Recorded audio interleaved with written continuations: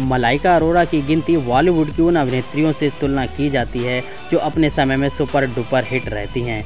मलाइका अरोड़ा को लेकर एक बहुत ही बड़ी गुड न्यूज़ आई है, क्योंकि मलाइका अरोड़ा ने अपना बंगला गिरमीर रख दिया है। और मलाइका अरोड़ा के बंगला में रहने के लिए आपको इतना देना होगा किराया। तो वीडियो को आप लास्ट तक ज़रूर देखें मलाइका अरोड़ा ने अपना बंगला कुछ समय के लिए गिरवी रख दिया है। तो बता दें कि मलाइका अरोड़ा अपने इस अपार्टमेंट से किराया वसूल कर बता दें कि मलाइका अरोड़ा का यह बंगला तीन साल के लिए किराए पे जा चुका आपको बता दें मलाइका अरोड़ा ने जब से यह बंगला अपना किराए पे दिया है, तब से लोग उन्हें ट्रोल कर रहे हैं कि और ऐसा बोल रहे हैं कि मलाइका अरोड़ा ने अपना बंगला किराए पे रख दिया है। मलाइका अरोड़ा इतनी ज़्यादा ज़्यादा गरीब हो गई है कि उन्होंने अपना बंगला किराए पर रख दिया। ऐसा मैं नहीं ऐसा सोशल मीडिया पर यूज़र्स बोल रहे हैं देखिए मलाइका अरोड़ा के इस बंगला से लगभग पाँच से सात लाख का किराया पर महीने आता था। मलाइका अरोड़ा ने सलमान खान के भाई अरवाज खान से भी शादी कर चुकी है। मलाइका अरोड़ा और अर्जुन कपूर को लेकर सोशल मीडिया पर खबरें छपती रहती हैं कि मलाइका अरोड़ा ने अपना बंगला गिरवी रख दिया है। ऐसा सोशल मीडिया पर ये वीडियो वायरल हो रहा है जिसमें आप देख ही सकते हैं। और आप बॉलीवुड से रिलेटेड न्यूज़ पाना चाहते हैं तो हमें लाइक कर दें और चैनल को सब्सक्राइब कर दें।